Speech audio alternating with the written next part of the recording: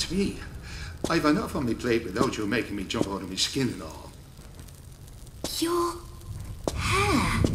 What about me hair? It's white. Hmm, aye, that'd be right. I was detained by some unpleasant fellas from down below. Gave me quite a fright. That's why I wasn't at the chapel. But I can see you've kept yourself busy. Anyways, let's get you out of here and back to safety.